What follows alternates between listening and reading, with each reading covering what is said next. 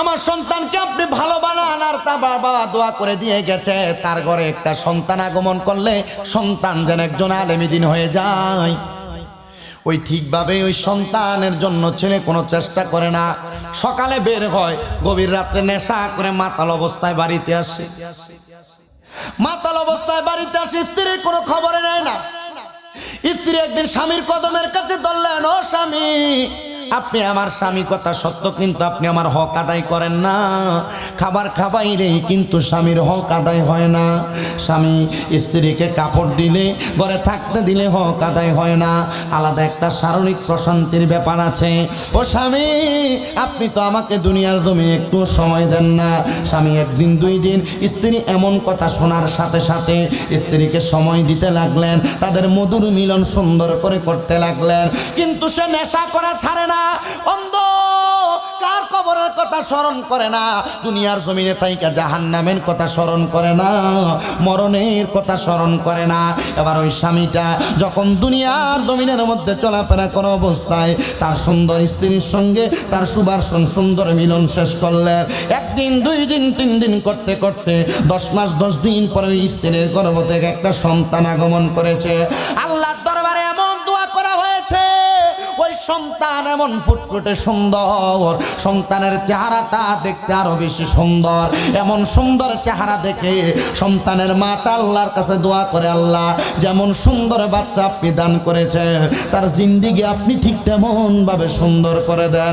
আপনারা বলেন, ওই মা জননী সন্তানের জন্য খাসভাবে দোয়া করলে আমার আল্লাহ ওই মায়ের দোয়ার কারণে সন্তানের জীবন পরিবর্তন করে দিতে পারে কি পারে না? টাঙ্গাইলের খোলাবাড়ির বাবারাম। মনোযোগ দিয়ে শুনবেন। সন্তান এক এক করে। আস্তে আস্তে বড় হচ্ছে। দুই বছর, তিন বছর, চার বছর বয়সে ওই সন্তানের মা জননী বড় একজন আবেদা মহিলা ছিলেন মানে বেশি আবাদত করতেন, সলেহা ছিলেন, বেশি নেককার ছিলেন। এবার ওই মা জননী সন্তানকে সুন্দর করে করে তার এলমে দিনের শিক্ষা দিচ্ছেন। এমনভাবে ওই মা জননী শুধু এলমে দিন শিক্ষা দিতেন না, আগের যুগের যারা মা ছিল, আগের যুগের যারা নারী ছিল, তারা আল্লাহর কোরআন পড়তে পছন্দ করত, আর টাঙ্গাইলের খোলা বাড়ির মহিলারা কোরআন পর্ব দূরের কথা টাঙ্গাইল না, শুধু সারা বাংলাদেশ, সারা বিশ্বের মহিলারা। কোরআন পর্ব দূরের কথা, সময় পাইলে রিমোটটা নিয়ে টিভির কাছে সময় পাইলে মোবাইলটার মধ্যে টিকটক টিকটক চালাইবা, কবরে গেলে আল্লাহ ফিটটা তোমার ঠিকঠাক বানাইব। হে মহিলারা! তুমি মা, একটা বার চিন্তা করো। আব্দুল কাদের জিলানি রদিয়াল্লাহু তালানহুর কথা, ওনার মা জননী গর্বের মধ্যে নিয়ে আঠারো সিপারা কোরআন তেলাওয়াত করেছে, আর দুনিয়াতে আইসা ওই আব্দুল কাদের জিলানি নামক আল্লাহর অলি বরফের উনি দুনিয়ার জমিনে আঠারো সিপারা কোরআন মুখস্থ মানুষকে শোনাইছে। এটা দুনিয়ার কোনো বেলায়াতের পাওয়ার না, এটা স্বয়ং মাদার জাত, মায়ের গর্ভ থেকে বেলায়াতের পাওয়ার। জাবান খুলে জোরে জোরে পড়েন সোবাহানাল্লাহ। তো আপনি দুনিয়াতে মা বোনেরা যদি মোবাইল টিপেন সন্তান গর্বে রাইখা, আব্দুল কাদের জিলানির মা গর্বে রাইখা কোরআন তেলাওয়াত করছে বিদায়। ছেলে গর্ভ থেকে আঠারো পারা কোরআন মুখস্থ করে দুনিয়াতে আসছে। আপনি সন্তানকে বুকে রাইখা, কুলের মধ্যে রাইখা, পেটে রাইখা, আপনি মোবাইল চালাবেন, তো দেখবেন সন্তান দুধ খাওয়ানোর পরেও কান্না বন্ধ হয় না। মোবাইলের ভিতরে চিজ বাড়িয়ে মাসতে মাসতে গান লাগাই দিলে কত সুন্দর কান্দা বন্ধ। আপনারা বলেন, ওই সন্তান কি নেককার হইতে পারে? চা ব্যবসা বন্ধ। মুরব্বীরা দাও, এরপরে আর আনবা না, ঠিক আছে? দাও ওনাদেরকে দাও। আমার ওয়াজের সময় কোনো চা চলে না। আপনি খান, আইনালে সেন তো ফালানো যাবে না, নষ্ট করা যাবে না। অবশ্যই গাড়ি শয়তানের বাড়ি হয়ে যাবে। এটা তো মুরব্বীরে দাও না, চা লাগবে না, কফিও লাগবে না। ইনশাল্লাহ আমি সব দিক থেকে এমনি বেড়া, পানি খেলেও চল। কেমন? আল্লাহ যেন আমাদেরকে কবুল করে। আপনাদের কোনো কষ্ট হচ্ছে বাবা? সম্পূর্ণ করে ফেলছে। আচ্ছা পাঁচ বছরের একটা বাচ্চা, কোরআন হেফজ করা, আপনি কি দুনিয়ার হেয়ালি কথা মনে করেন? কিন্তু ওই ছেলে কোরআন মুখস্থ করে ফেলেছে। কারণ মা ভালো তো, দুধ ভালো দুধ ভালো তার, গাই ভালো তার, গাছ ভালো তার, ফল ভালো। মা ভালো, সন্তান ভালো হবে অনেক মাঝে মাঝে হুজুর দুই একটা ফোংরা সেংডা হয়ে যায় এটা শয়তানে আসর করে ফেলে। আমার মাদ্রাসার কত ছেলে ভাইগা যায় মাঝে মাঝে। আমি চিন্তা করে হারে, কেমনে জানি ভাইগা গেল? পরে চিন্তা করে, হুজুর, আমরা জোহরের নামাজ পড়তে দাঁড়াইছি। এক নাম্বার কইয়া উজু করতে যাইব কইয়া, হুজুর আমরা পেছনে রাইখা, এ সামনের দরজা খুলে ভাইগা গেছে। এর খুঁজতে কত জায়গায় বাইর হই? আমি হুন্ডা নিয়ে বাইর হই। আমার এক ওস্তাদ আমার এক শিক্ষক আছে, উনি বাইর হই রিক্সা নিয়ে। আরেক শিক্ষক যায় রিক্সা নিয়ে। আমি যাই কুমিল্লা জাঙ্গালিয়া বাস স্ট্যান্ড, আরেকজন যায় রেল স্টেশন, আরেকটা যায় শাসনগাছা বাস স্ট্যান্ড। কেন? বাচ্চারা খুঁজে পাওয়া যায় না। হঠাৎ করে দুই ঘণ্টা পরে তার মা বাবা ফোন দিয়ে কয়, হুজুর, আমাদের ছেলে আমাদের কাছে আসছে। মাঝে মাঝে গাড়ি নিয়ে প্রাইভেট কার নিয়ে এদেরকে আনতে যাওয়া লাগে। রিক্সা দিয়ে আনতে যাওয়া লাগে। আনতে গেলে বাচ্চা যদি একবার, দুইবার টানার পর না আসে, হুজুর থাক, বাচ্চা যেহেতু পড়তে চায় না, জোর করে পড়ানোর দরকার নেই। আলহামদুলিল্লাহ, আমার মাদ্রাসায় অনেক দূর দূরান্তের ছাত্ররা আইসা এখনও মাদ্রাসায় পড়তেছে বোর্ডিংয়ে মা বাবার খবর নাই, তিন মাস, চার মাস পরও মা বাবা আসলে যাওয়ার জন্য কান্দে না। জিগায় কান্দো না কেন? হয়তো মা আমাদেরকে ডাল দিয়ে আর আলুর ভর্তা দিয়ে ভাত খাওয়ায়, কিন্তু আমাদের কাছে ভালো লাগে। আলহামদুলিল্লাহ, পড়েন? ওই দিন এক মহিলা মাদ্রাসার আমার ছাত্রীকে জিজ্ঞেস করলাম, এতটুক ছোট বাচ্চা, বাচ্চার বয়স মাত্র নয় বছর বয়স? জিগাইলাম, মা, আপনি তো আসছেন আমার মাদ্রাসায়, সাড়ে তিন বছর হয়েছে আপনি কি পড়ছেন? মেয়ে জিজ্ঞাসা করে, হুজুর, আল্লাহর রহমতে এই সাড়ে তিন মাসের সরি, সাড়ে তিন মাসের ভিতরে আল্লাহ পাক, আমি আপনার ছাত্রীকে এখনও পর্যন্ত তেরোটা হাদিস মুখস্থ করছি। হুজুর, আমি কোরআনুল কারিমের পেছন দিক থেকে আঠাশটা সুরা মুখস্থ করেছি। মাশাল্লাহ পড়েন? আচ্ছা কোরআনের তাসির যদি অন্তরে লাইগা যায়, আপনারা বলেন, এ বান্দাকে শয়তানে আসর করল কাম হয়? আমি আসার সাথে সাথে ওই ঘরে এক মেয়েরা আমার কাছে নিয়ে গেছে, ছোট্ট মেয়েরে নিয়ে বলতেছে, হুজুর, এটারে নাকি জিনে আসর করে, একটু ফু দিয়া দেন। আমি চিন্তা করলাম, জিনে আসর করে মেয়ে মানুষ জিজ্ঞাসা কিসে পড়ে? ওই মাদ্রাসায়। বাবার নাম লুৎফুর রহমান। আচ্ছা ঠিক আছে মা, আসো, সামনে এসা, ফু দেওয়ার পরে। এবার এই মেয়ে আইসা ফু দেওয়ার পরে এটা চলে যায়। চিন্তা করলাম, জিনে আসর করে? কথা সত্য, কারণ এটাকে জিনরা পাহারা দিয়ে রাখে। যদি এটার এবাদত বা পড়ালেখা পছন্দ হয়, তখন জিনে আসর। আপনারা ভয় পাবেন না। বাচ্চারা মাদ্রাসায় পড়লে জিনে আসর করে। করে না? করে। কারণ অনেক জিনরা কোরআন তেলাওয়াত করে। মাঝে মাঝে মুরব্বীরা যারা রাত্রে গভীরে ফজরের আজানের আগে মসজিদে আসে দেখে মসজিদের ভিতর অনেক জিনরা সাদা কাপড় পইরা পইরা নামাজ আদায় করে। আমি অনেক দেখছি। মাঝে মাঝে প্রথম প্রথম ভয় ফাইয়া ডরাইয়া অনেক সময় লুঙ্গি ফালাই দিয়ে দৌড় মারা লাগছে। কিন্তু যখন অভ্যাস হয়ে গেছে গা আর যাই না। সামনের দিকে গেলে আমি যত সামনে যাই এটা তত পিছিয়ে যায়। এই জন্য ভয় পাওয়া যাবে না। আপনিও জিনদের সাথে কথা বলতে পারবেন। যদি আপনি আবাদত ভালো করেন, হারাম না খান, সুদ না খান গোস না খান। আপনারা বলেন, শুধু জিনদের সাথে না, রহমাতুল্লিল আলমিনের দিদারে মুস্তফাও পাবেন নবীজি দিদার পাবেন দুনিয়া আপনি নবীকে দেখার জন্য বারবার কান্না করা লাগবে না। আপনি শুধু ইবাদত ভালো করেন, হারাম খাওয়া ছেড়ে দেন। নবীজি আপনার ভাঙ্গা করে এসে টাঙ্গাইলের খোলা বাড়িতে আপনাকে দেখা দিন আপনি বলেন, নবীজির এই ক্ষমতা দিয়েছেন কে? আল্লাহ দিয়েছেন। আল্লাহ সকল ক্ষমতার মালিক, আল্লাহ দেন সব ক্ষমতা। ওই ছেলে পাঁচ বছর, সাড়ে পাঁচ বছর বয়স আল্লাহর কোরআন মুখস্থ করেছে। কিন্তু ছেলের বাবা যান ওই ছেলের বাবা যান আল্লাহর কোরআন মুখস্থ করার পরেও ছেলেটার দিকে তাকে নেশা ছাড়ে না। মাঝে মাঝে অনেক বাবা মায়েরা দুনিয়ার জমিনের মধ্যে থাক অবস্থায়, সন্তানকে ভালো পড়াইতে পারে না, কিন্তু ওই বাবার চেষ্টা ছাড়াও সন্তান দুনিয়াতে ভালো পড়ালেখা করে ফেলেছে। কিন্তু মাদ্রাসার মধ্যে কোরআনের খাদ্য শেষ করলে সকল ছাত্রদেরকে দস্তার বন্দির মাধ্যমে মাথায় পাগড়ি তুলে দেওয়া হয়। ওই ছেলের মাদ্রাসার মধ্যে, তার মাথার মধ্যে পাগড়ি তুলে দেওয়া হবে। সকল ছাত্রদের বাবা উপস্থিত, যাদের মাথায় পাগড়ি তুলে দেওয়া হচ্ছে।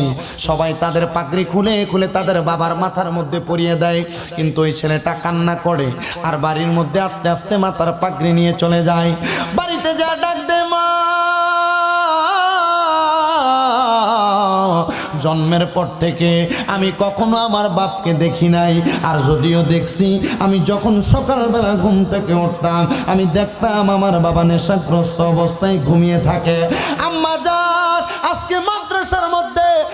হাফেজরা মাথার মধ্যে পাগড়ি নিয়া নিয়া ওই পাগড়ি তাদের বাবার মাথার মধ্যে পরাইয়া দিছে। কিন্তু আমি আমার পাগড়ি মা বাবার মাথায় পরাইতে পারি নাই। আম্মা যান, আজকে রাত্রবেলা আমি ঘুমাবো না। আমার আব্বা জান আসলে আমি আমার আব্বা জানের মাথার মধ্যে আমার পাগড়িটা পরাইব। তখন আমি সন্তানের কোনি যাই শান্তি লাগবে। ওই মা সন্তান পাগলামি করো না। তোমার বাবা কখন আসে ওটার কোনো গ্যারান্টি নাই। তুমি সন্তান আরামসে ঘুমায়া যাও। ওই সন্তান একবার, দুইবার মায়ের কথাটা শোনার সাথে সাথে সন্তান শুধু নারাজ নারাজ প্রকাশ করলেন, আম্মা যান, প্রত্যেক দিন ঘুমায়া যায়, কিন্তু আজকে আমি আর ঘুমাইতে পারব না। এবার গভীর রাত্র যখন হয়ে গেছে, সন্তান লক্ষ্য করে দেখলেন, নেশাগ্রস্ত অবস্থায় তার আব্বাজান তার সামনে হাজির। সন্তান ডাক দিয়ে বলে, মা, আমার আব্বাজান যেহেতু নেশাগ্রস্ত অবস্থায় হাজির। নেশা করলে কোনো কথা বললে সেই কথা বোঝে না, রাখতে পারে না। ও আম্মা যা, আমি আমার আব্বা, নেশার ঘুর ভাঙ্গা পর্যন্ত আমি আমার আব্বার জন্য অপেক্ষা করব। সন্তান, নামাজের মুসল্লা নিয়া সাড়ে পাঁচ বছর, ছয় বছর বয়সের বাচ্চাটা ওই আল্লাহ পাক রব্বুল আলমিনের দরবারে যে তাহাজ্জুদের নামাজ পড়লে আল্লাহ দোয়া কবুল করে। ওই দোয়াটা আমার আল্লাহর কাছে বারবার করে। আল্লাহ ইহদিল did. আল্লাহ, আপনি আমার মা বাবার হেদায়েত নসিব করেন। আমার মা বাবার হেদায়েত নসিব করেন।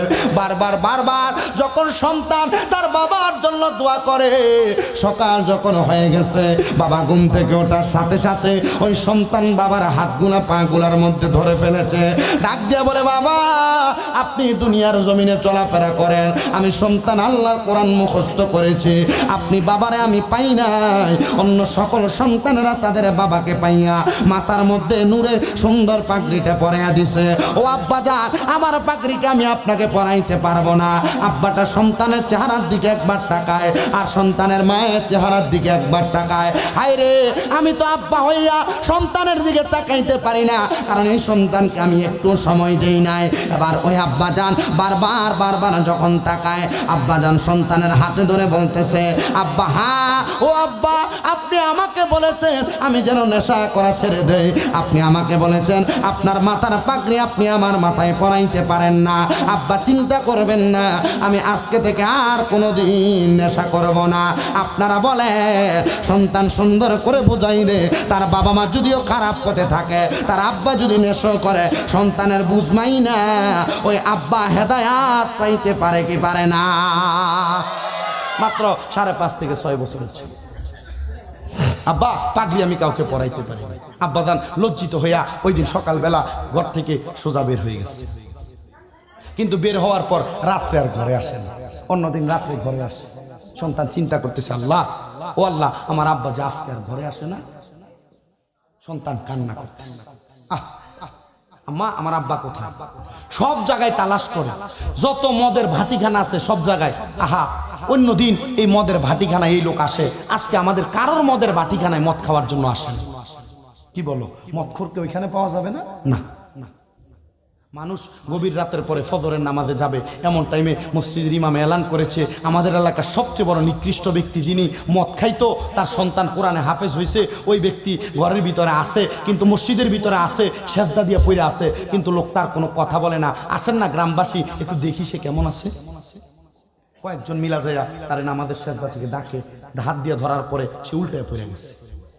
দেখে তার মুখের ভিতরে নাকে হাত দিয়া সে আর দুনিয়াতে নাই পড়েন। ইন্না লিল্লাহি ওয়া ইন্না ইলাইহি রাজিউন। সবাই চিন্তা করল, একজন নেশাখোর, এরা আমরা জানাজা দিব। আচ্ছা বলেন, যে নেশা করার কারণে যদি মানুষ আপনার জানাজা না দেয়, এই নেশা করার কারণে আপনাকে মানুষ ঘৃণা করে, তাহলে কি নেশা করা যাবে?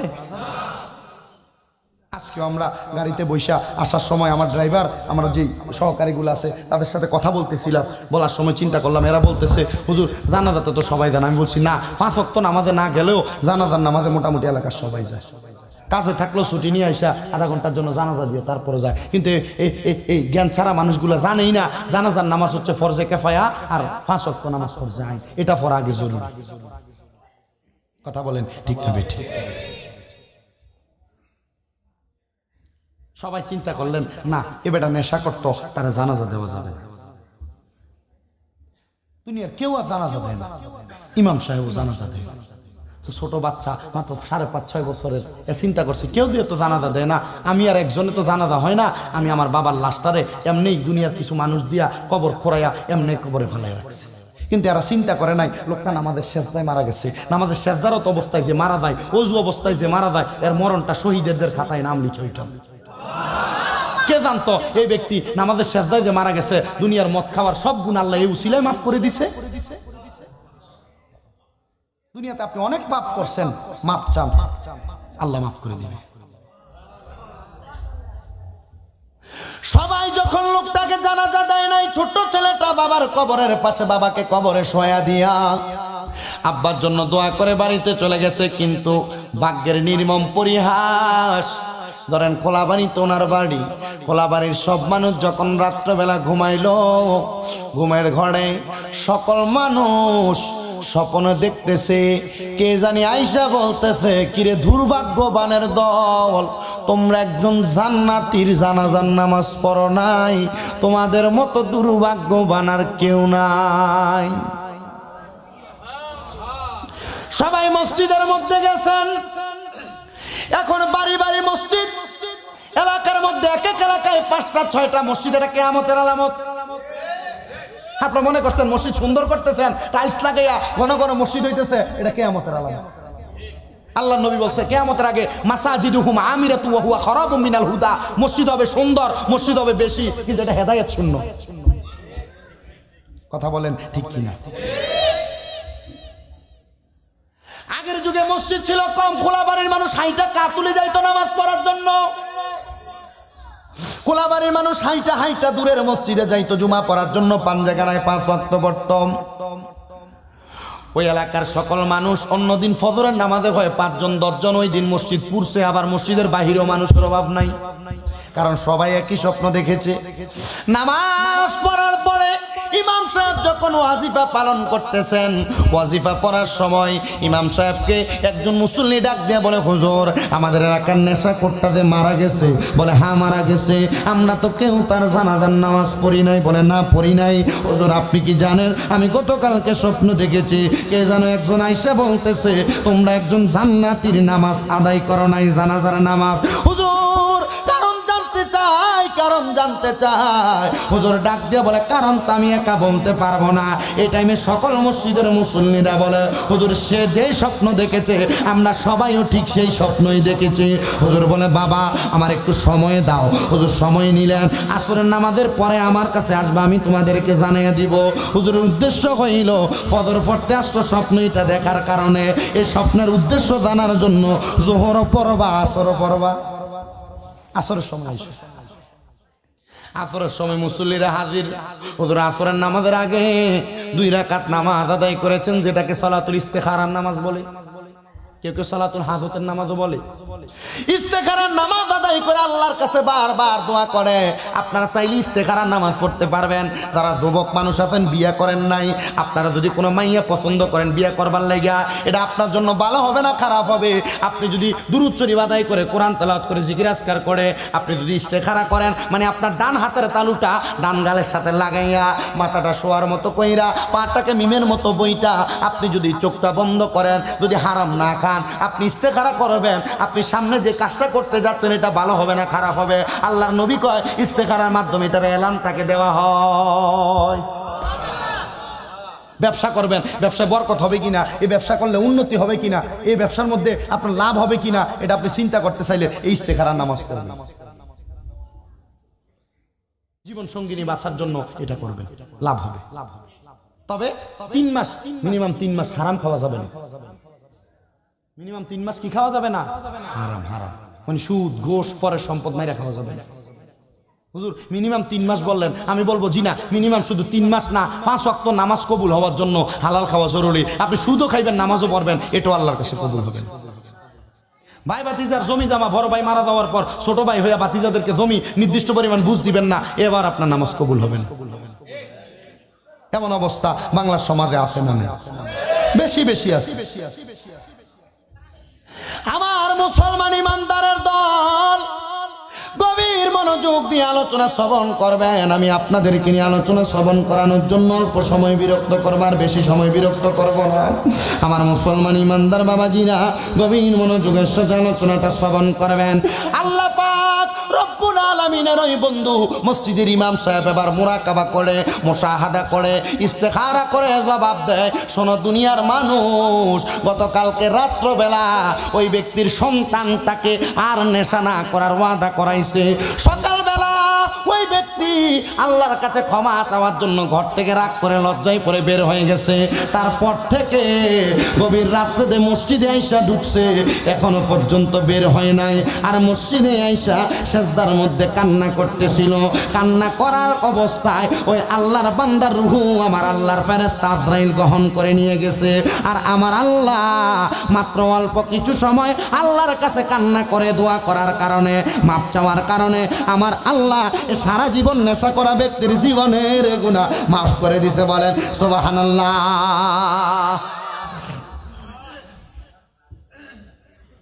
সবাই বললেন, হুজুর, আর কি কোনো ব্যবস্থা আছে? জানাজা দেওয়া যাবে? ওমা দুনিয়াতে থাকতে দাম দিলা না, মরার পরে দাম দিতে চাইতেছ? হ্যাঁ ব্যবস্থা আছে। হুজুর, কি করব? বলে, এখন তার ব্যবস্থা নাই, তোমরা যার যেমন কইরা কবরটাকে জিয়ারত করে আসো। আপনারা বলেন মা বাবার কবর জিয়ারত করার দরকার আছে কিনা আছে। নবীজি হাদিস শরীফের মধ্যে বলছে, মা বাবা মারা যাওয়ার পর একটা সন্তানের পাঁচটা দায়িত্ব। বলেন, কয়টা দায়িত্ব? পাঁচটা আপনি মনে করতেছেন আপনার মা বাপ বেঁচে থাকা অবস্থায় ভাত খাওয়াইলে দায়িত্ব, মা বাপ বেঁচে থাকা অবস্থায় কাপড় খাওয়ান খোরাক ওষুধ বড়ি খাওয়াইলে দায়িত্ব। জি না, আল্লাহ নবী রহমাতুল্লিল আলমিন নবী বলে, এগুলা তো দায়িত্ব আছে, এগুলার পাশাপাশি আরও কিছু দায়িত্ব আছে। ইয়া রসুলাল্লাহ, ও মায়ার নবী, দায়িত্ব কি? আল্লাহর হাবিব সাল্লাহ সাল্লামের কাছে এক ব্যক্তি এসে প্রশ্ন করি, ইয়া রসুলাল্লাহ, হাল বাকিয়া মিম বিররি আবু আইয়া সাই উন আবার রুহুমা বিহি বা দামাউতিহিমা ও মায়ার নবী, আমার মা বাবা ইন্তেকাল করার পরে আমাদের কোনো দায়িত্ব আছে কিনা? নবী বলেন, কয়লা নাম হ্যাঁ অবশ্যই দায়িত্ব আছে। এক নাম্বার আসলাতু আলাইহিমা মা বাবা মারা যাওয়ার পর তাদের জন্য বেশি বেশি দোয়া করা এটা তোমার দায়িত্ব। হুজুর একটা কথা বলে হ্যাঁ। এই যে আমাকে এখানে দেখি অনেক আমাদের মতো অনেক হুজুরে। জানাজার পরে দোয়া করে না মনোজাত করে না। মাশাল্লাহ খুব সুন্দর একটা প্রশ্ন। আল্লাহ যেন আমাদেরকে প্রশ্নগুলোর জবাব সুন্দরভাবে দেওয়ার তফিক দান করে কোনা আমি আসলে আমি প্রশ্ন দেওয়ার, উত্তর দেওয়ার মতো উপযুক্ত আলেম না, তবে হ্যাঁ এ প্রশ্নটার উত্তর আমার জানা আছে। আল্লাহ যেন আমাকে দেওয়ার, আপনাদের শোনার পর আমল করার তৌফিক দান করে আল্লাহ সবার মনের আশাগুলো পূরণ করে। এগুলো নিয়ে দ্বন্দ্ব হয় সমাজে। কোনো জায়গায় দোয়া হয়, কোনো জায়গায় দোয়া হয় না। জানাজা পরে কেউ লাশ নিয়ে তাড়াতাড়ি চলে যায়, আবার কেউ দোয়া করে। মেসকাতুল মাসাবিতে নবীজি একটা হাদিস শরীফ বলছে, ইজা সল্লাই তুম আলাল মাইয়েতি ফাখলি সুলাহুদ দোয়া। জোরে পড়েন, সোবাহানাল্লাহ। এবার আমি হাদিস শরীফটা ভেঙে ভেঙে আপনাদেরকে বলে দেই। আমাদের সম্মানিত অতিথি সাহেব যে প্রশ্নটা করেছেন, ওইটা আপনারা একটু মনোযোগ দিয়ে শুনবেন। নবীজি বলছেন, ইজা যখন সল্লাই তুম তোমরা নামাজ আদায় করো, আলাল মাইয়েতি মৃত ব্যক্তির জন্য ফাখলি সুলাহুদ দোয়া, অতপর তার জন্য দোয়া করো। সোবাংলা জোরে পড়লেন না? নবীজি বলেছেন, মৃত ব্যক্তির জানাজা পড়ার পর তোমরা তার জন্য দোয়া করো। আপনারা বলেন, আমরা কি নবীর কথা মানতে চাই কি চাই না? কেউ যদি দোয়া না করে, এটা নিজের একটা। ঠিক কি না? আবু বুঝতে পারছেন? নবীজি হাদিস। হ্যাঁ। যারা করে না এটা ওনাদের নিজের এখতিয়ার। নবীজি বলছে, দোয়া করতে আপনি করবেন। আল্লাহ যেন আমাদেরকে দোয়া করার তৌফিক দান করে পড়েন। আল্লাহ আল্লাহ যারা বেদাত কয় এটা ওনাদের বিষয় আপনারা বেদাত বইলেন না। কেমন? দোয়া করবে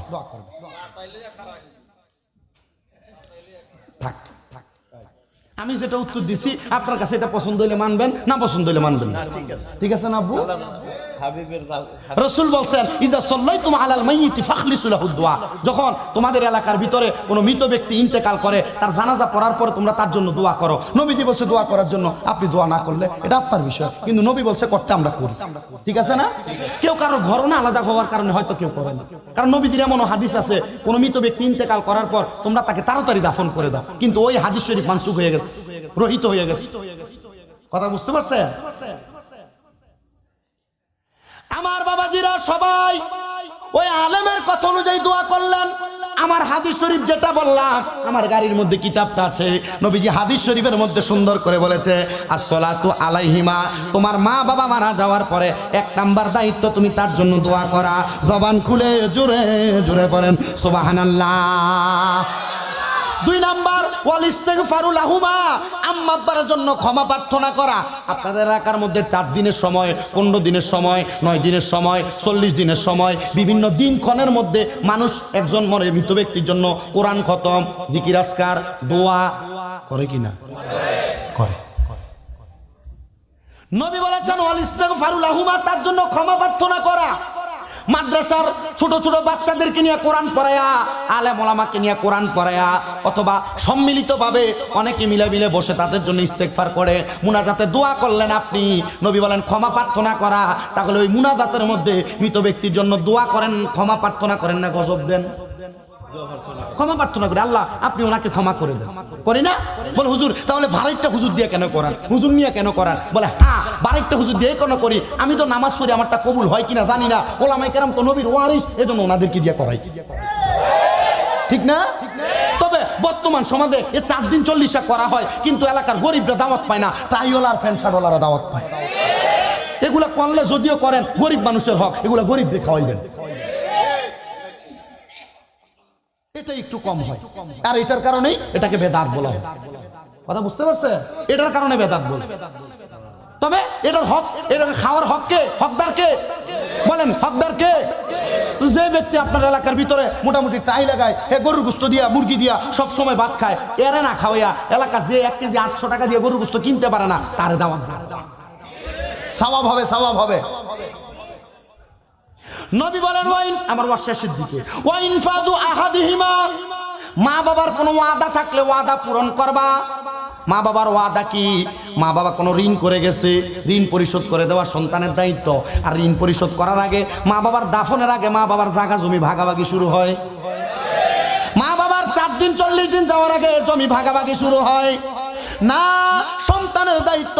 মা বাবার ঋণ আগে পরিশোধ করা, সম্পদ থেকে মা বাবার ঋণ আগে পরিশোধ করা, অথবা আপনার মা বাবা নিয়ত করেছে, হজ করবে করতে পারে নাই।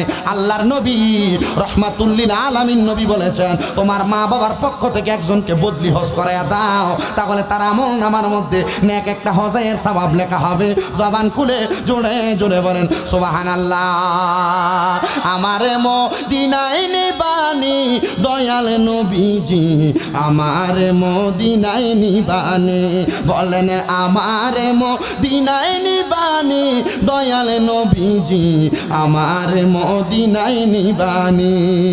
ও নবীজি, আমি তোমার প্রেম বিকারি তুমি হইও পার কান্ডারি তোমার প্রেমে পাগল যে আমি।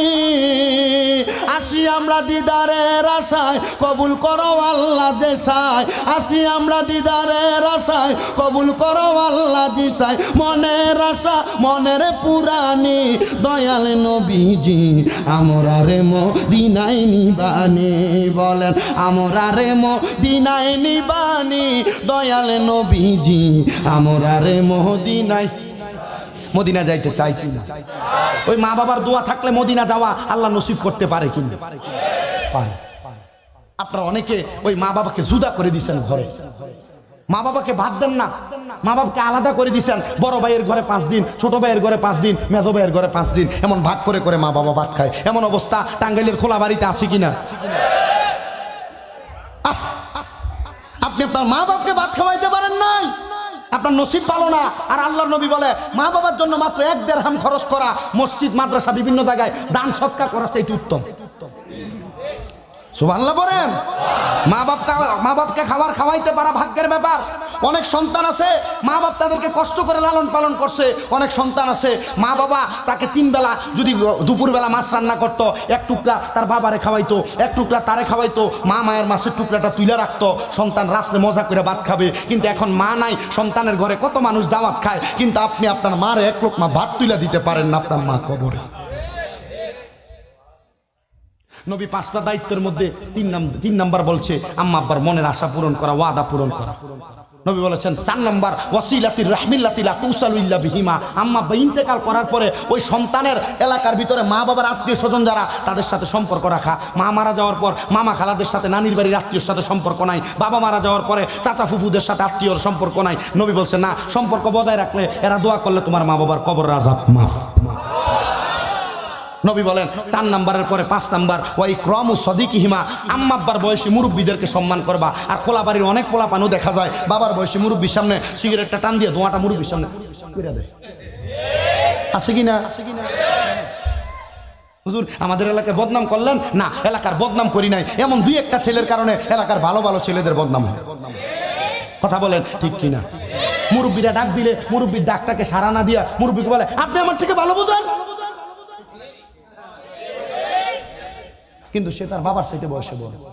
নবী সদিক হিমা আম্মা আব্বার বন্ধু বান্ধব যারা এদেরকে সম্মান করো, আম্মা আব্বার বয়সী মুরব্বী যারা এদেরকে সম্মান করো, বাবাকে পাঁচশো টাকা একটা লুঙ্গি কিনা পারো নাই, তুমি তোমার বাবার বয়সী কোনো মুরব্বীকে একটা লুঙ্গি কিনা দাও না।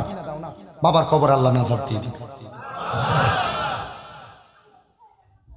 অনেকে আছেন, মা বাবাকে জুদা করে দিয়েছেন। আল্লাহ দোহাই পারলে আপনার পা আমার সামনে দেন, আমি আমার জিব্বা দিয়ে আপনার পা পরিষ্কার করে দিব। যদি মা বাপকে এমন জুদা করে দিয়ে থাকেন, আলাদা করে দিয়ে থাকেন।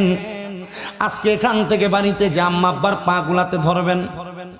ধরে বলবেন, মা, ও আব্বা যান, আল্লাহর হস্তে আমি সন্তানকে মাফ করে দেন।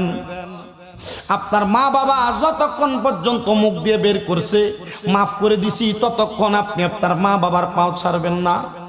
কারণ আপনার মা বাবা যদি বেজার হয়ে যায়, রসুল বলেছেন, সাখাতুর রব্বি ফি সাখাতিল ওয়ালিদাইন। মা বাবার অসন্তুষ্টিতে আমি আল্লাহ অসন্তুষ্টি হয়ে যায় আমার আল্লাহর ঘোষণা নবীর মাধ্যমে। আল্লাহ যাদের প্রতি অসন্তুষ্ট হয় ওই ব্যক্তির জান্নাতে যাওয়া বন্ধ হয়ে যায়। এজন্য আম্মা আব্বার কদমে ধরবেন। অনেকে চিন্তা করে, হুজুর মা বাবার কদমে ধরে মাপ চাইব দূরের কথা। দুই ঈদের সময় আম্মা আব্বার পায়ে ধরে সালামি করি না। বলে, কেন? হুজুর, আমার শরম লাগে। কিন্তু নবী বলে, শুধু সালাম করা না।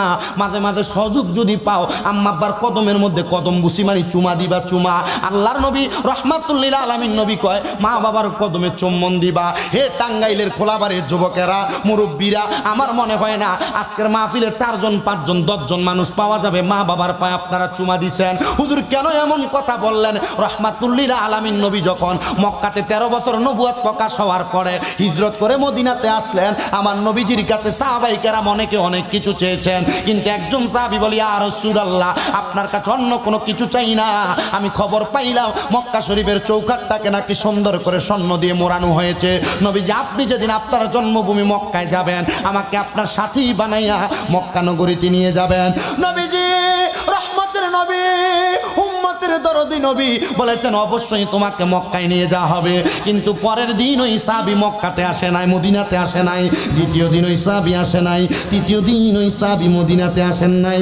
নবী আমার প্রতিনিধি পাঠাইলেন, খবর না ওই সাবি কেন মদিনাতে আসে না?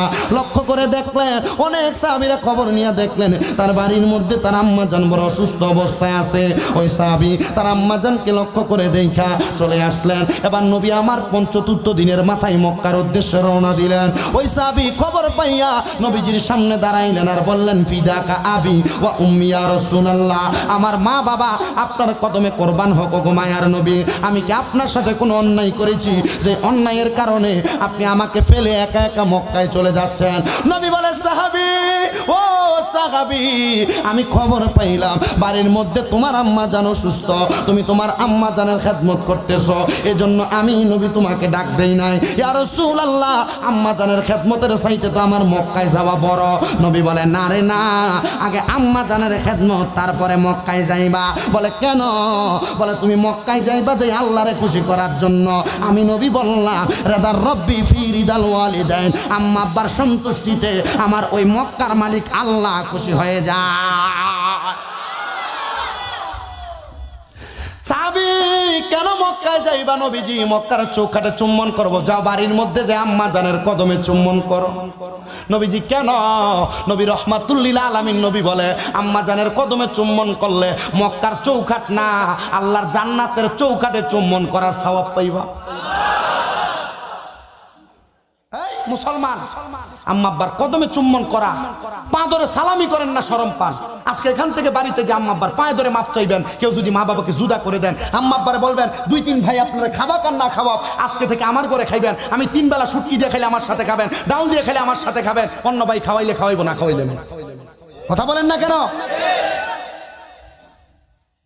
আপনি এখান থেকে বাড়িতে যা আম্মাব্বার পাও ধরবেন। আজকের এই খোলাবাড়ি নুরানি কিন্ডার গার্ডেন এবং হাফিজিয়া মাদ্রাসার এই পঁচিশতম মাহফিল তখন সফল হবে যখন আগামীকালকে এই এলাকার মুরব্বীরা দোকানে বৈশা বলবে শামীম রেজার ওয়া শুইনা আমার মা, আমার সন্তান, আমার পায়ে যেয়ে রাত্রবেলা ধরছে। মাফ চাইলে সালাম করলে আম্মাব্বা মনে করবে হ্যাঁ আমার সন্তান এখন আমাকে ভালোবাসে, আমার বাধ্যগত, আমার পর থেকে দূরে যায় নাই।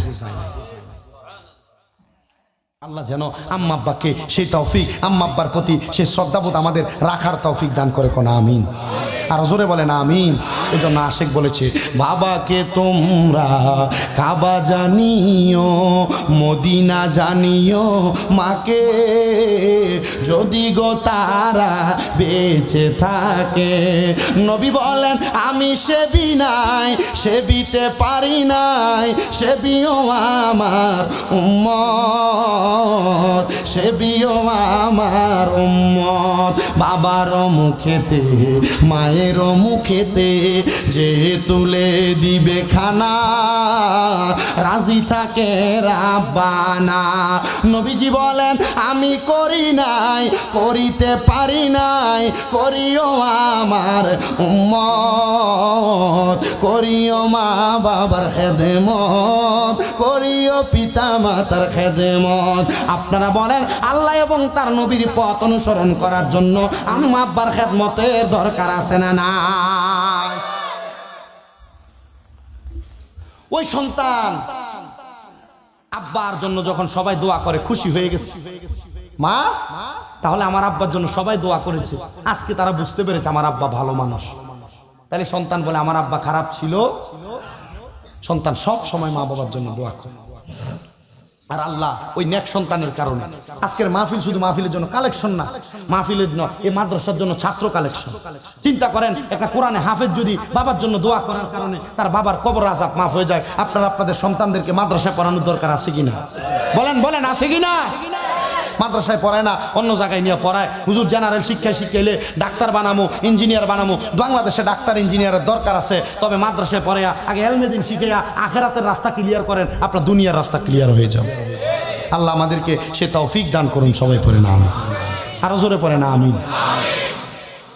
নবী রহমাতুল্লিল আলমিন, ওই নবীকে আমরা সবাই ভালোবাসি, মোহাব্বত করি। আসুন, ওই নবীর কথা কথা আসুন, আমরা সবাই ওই নবী রহমাতুল্লিল আলমীর নবীর মোহাব্বতে, এই জান্নাতের বাগানে যারা আসছি, আপনার মা বাবা বেঁচে থাকলে আপনি খাওয়াইতেন, অনেকে চিন্তা করে, হুজুর, যাদের বাড়িতে মা বাবা আছে, তারাই না বাড়িতে যা মায়ের পায়ে ধরে মাপ চাইব? হুজুর, যাদের বাড়িতে বাবা আছে, তারাই না বাবার পায়ে ধরে মাপ চাইব? হুজুর, আমার তো মা নাই, আমি কার পায়ে ধরে মাপ চাইব? হুজুর, আমার তো বাবা নাই, আমি কার পায়ে ধরে মাপ চাইব? নবীজি বলছে, যাদের মা বাবা কবরে আম্মা আব্বা দুনিয়া থেকে চলে গেছে, ওই সন্তান যদি তার মায়ের জন্য, বাবার জন্য, রব্বির হামহুমা কামা রব্বায়ানি সগিরা বলে চোখের মণি কোঠার মধ্যে একটা মাসির মাথা পরিমাণ পানি ছেড়ে দিয়ে কান্না করে। ওই পানিটা মাটিতে পড়ার আগে আল্লাহ তার মা বাবার জীবনের গুণা মাফ করে দেয়। অনেকে চিন্তা করে, হুজুর, আগে আমার মা বাবা অভাবে সংসার কাটাইছে, এখন আমার ঘরে কত মেহমান খাবার খায়, দামি দামি খাবার খায়, কিন্তু আমি আমার আম্মা জানকে, আব্বা জানকে একটু ভালো খাবার খাওয়াইতে পারি না। বাবা, আপনার মা, আপনার বাবা বেঁচে থাকলে আপনি যদি মাসে আপনার মা বাবার পেছনে এক হাজার টাকা খাবারের টাকা খরচ করতেন, আপনার কি বারো মাসে বারো হাজার টাকা খরচ হইতো না? একজন সন্তান, হুজুর, আমার মা বাবার কবরে যেন আল্লাহ জান্নাতি খাবারের ব্যবস্থা করে দেয়, আমি মাদ্রাসার জন্য আমি পাঁচটা হাজার টাকা দান করব। কেউ একজন বলেন তো, হুজুর, আমার আম্মাব্বার জন্য আমি পাঁচটা হাজার টাকা মাদ্রাসায় দান করব। আল্লাহ আল্লাহ আল্লাহ আল্লাহ। আল্লাহ পাগল মগন, একবার বাবলি না রে তোর হইব রে মরবন মশাল্লাহ। আল্লাহ আল্লাহ পাগল মগন, একবার বাবলি না রে তোর হইব রে মরবন মশাল্লাহ।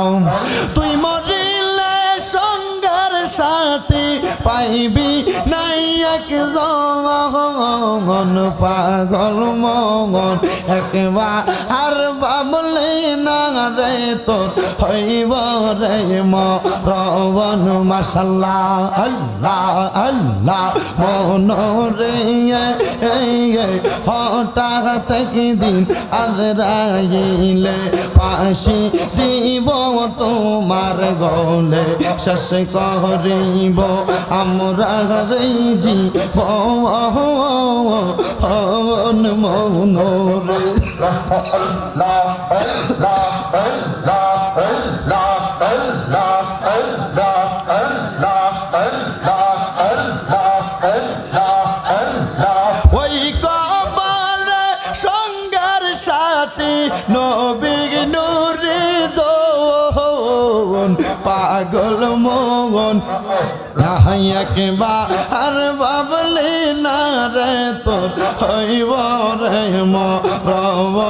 মাসাল্লাহ আল্লাহ বন্ধু বান্ধব বাসে যত জানা যাই যাবে শত আদার ঘরে কেউ তো যাবে না। মন রে আল্লাহ, ওই কাবারে তিনি নবী দমন পাগল মন, একবার বাবলি না রে তোর হইব রে মরবন মাসাল্লাহ আল্লাহ আল্লাহ, দমে দমে জফর নাম আল্লাহ আল্লাহ, দমে দমে মাসাল্লাহ আল্লাহ আল্লাহ দমের উপর বাড়িঘর, দম চাপিলে সবই পর। দমের উপর বাড়িঘর, দম চাপিলে সবই পর। দমে দমে তালাশ কর কে আছে আপন? মাসাল্লাহ আল্লাহ আল্লাহ আসি গেলে তুফান ভাঙবে না ঘরের বান। আসি গেলে তুফান ভাঙবে না ঘরের বান। মন পাখি ওইরা যাইব নিজ ঘুম জঙ্গলায়। মাসাল্লাহ আল্লাহ আল্লাহ।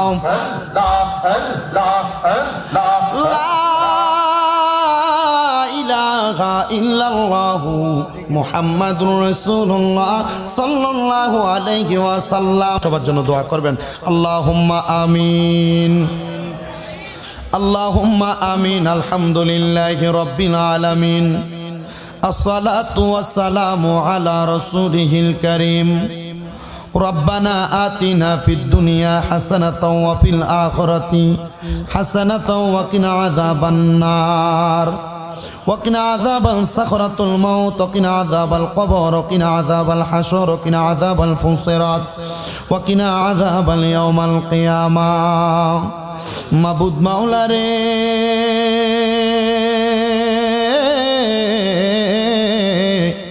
ও দয়াল আল্লাহ, মায়ার নজর করে তাকে দেখেন গো আল্লাহ।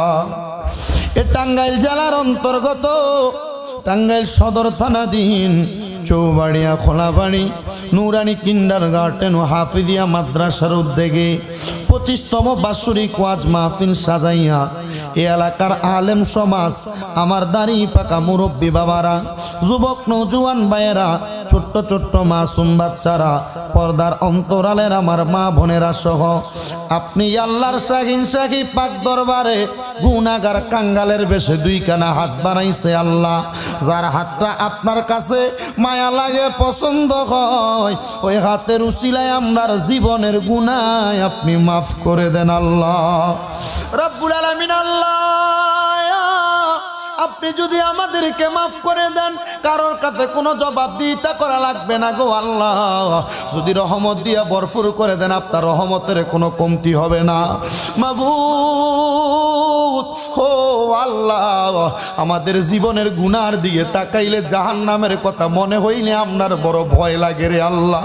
রহমাতুল্লিল নবীর বসিলায় আমাদের সবার জীবনের গুণা আপনি মাফ করে দেন। গুনার বোঝা মাথায় লইয়া আল্লাহ ডাকি বারে। বার মাফ করে দাও মাবুদ মাওলা, আমরা গুনাগার তুমি যদি মাফ না করো, আল্লাহ তোমার বান্দারে। বলো তোমার বান্দা যাইয়া চাইব কার কাছে? রহমানুর রহিম, নামটি তোমার আল্লাহ আছে আমরার জানা। সে নামেরও সিলাই গো গুনা করে দাও না ক্ষমা। রাব্বুল আলামিন, ও দয়াল আল্লাহ, মায়ার নজর করে তাকে দেখেন, আজকের জান্নাতের বাগানে আপনার কতগুলো আদরের বান্দারা হাত বাড়াইছে।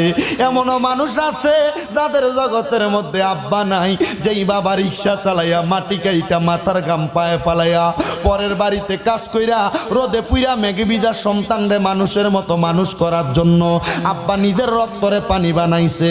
এমন আব্বা যাদের অন্ধকার কবরে গো আল্লাহ, তাদের আব্বার কবর তুমি জান্নাতের বাগান বানায়া দাও।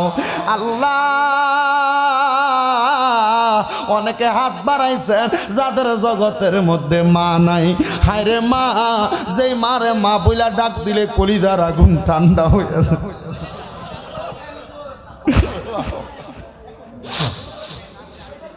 আল্লাহ।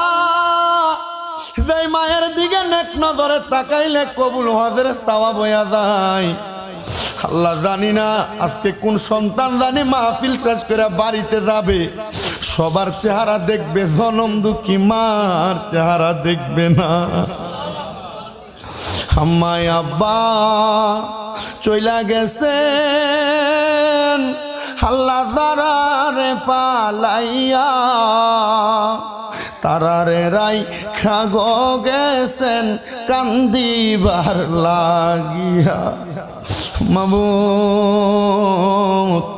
তাকে দেখো কার জানি মা নাই। তাকে দেখো কার জানি আব্বা নাই। যাদের মা বাবা দুইজন কবরে হাম্মাই আব্বার কবর না জাতের ফয়সালা করো। অনেকে হাত বাড়াইছে, মাও নাই, বাবাও নাই, জনমের তিম আল্লাহ তাদের দুইজন মা বাবার কবরটাকে না জাতের ফয়সালা করো। বিশেষ করে আম্মা আব্বা যাদের বেঁচে আছে, হায়াতে তুই এবার নসিব করো। আম্মা আব্বার খেদমত করার তৌফিক দান করো। অসুস্থ থাকলে শেফা দান করো। রাব্বুল আলামিন আল্লাহ, যারা ব্যবসা করে ব্যবসাতে বরকত দাও, চাকরি করে চাকরিতে বরকত দাও, পড়ালেখা করলে বিদ্যা বুদ্ধি বাড়াইয়া দাও মানে সম্মান, ইজ্জতে জিন্দিগি নসিব করে দাও। অনেক প্রবাসী ভাইয়েরা বিদেশ থেকে দোয়া চায়। আল্লাহ প্রত্যেক প্রবাসীরা দেশের জমিনে মা বাবা সন্তান, স্ত্রী, পুত্র রাইখা বিদেশে বড় কষ্ট করে। প্রত্যেক প্রবাসীদেরকে তুমি কবল মঞ্জুর করো। প্রবাসীদের হায়াতে বরকত দাও, কামাই রুদিতে বরকত দান করো। অনেক প্রবাসীরা মা মাহফিলে টাকা পয়সা দিয়ে সহযোগিতা করেছে। আল্লাহ দেশের মানুষ যারা সহযোগিতা করেছে, তাদের প্রত্যেকরে তুমি কবল মঞ্জুর করে নাও। তোমার দরবারে, ফিলিস্তিনের জমিনে ইসরায়েল ইহুদি বাহিনীদের আল্লাহ জুলুমের শিকার আমার মুসলমানেরা। আল্লাহ ফিলিস্তিনের মুসলমানদেরকে আপনি ইসরায়েল বাহিনীর জুলুম থেকে হেফাজত করেন আল্লাহ। ফিলিস্তিনের মুসলমানদেরকে আবাবিল পাখি পাঠাইয়া যেমন মুসলমানদেরকে হেফাজত করেছেন, আমার ফিলিস্তিনের মুসলমানদেরকে তেমন হেফাজত করেন। আল্লাহ আপনার দরবারে অনেকেই মাহফিলের টাকা দিয়া, পয়সা দিয়া, শ্রম দিয়া, বুদ্ধি দিয়া, পরামর্শ দিয়া, মাইক দিয়া, লাইট দিয়া, প্যান্ডেল দিয়া, মিডিয়ার বাইরা সহ তাবারুক দিয়া আজকের মাহফিলে যারা উপস্থিত হয়েছেন, পর্দার অন্তরালে অনেক মা বোনেরা হাত বানাইছেন আমার মা বোনদেরকে আপনি কবল মঞ্জুর করে নেন। আল্লাহ যারা যারা দোয়া চায়, প্রত্যেকের দোয়া আপনি কবল মঞ্জুর করেন। আমার অনেক ভাইয়েরা কিছু হাদিয়া দিয়ে দোয়া চেয়েছেন, আল্লাহ তাদের দোয়া আপনি কবল মঞ্জুর করে নেন। ফরিয়াদ আপনার দরবারে, আল্লাহ এ মাহফিল পঁচিশতম মাহফিল। কেয়ামতের আগ পর্যন্ত মাহফিল নাজাতের জরিয়া হিসেবে কবর মঞ্জুর করে নেন। আল্লাহ যারা যারা দান করবে, নিয়ত করেছে, আল্লাহ তারা যেন সময় মতো দানের টাকাটা পৌঁছাইতে পারে, সেই তৌফিক দান করেন।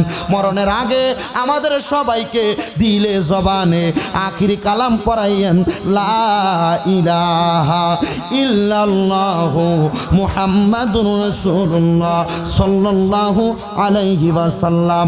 আসসালামু আলাইকুম ওয়া রাহমাতুল্লাহ।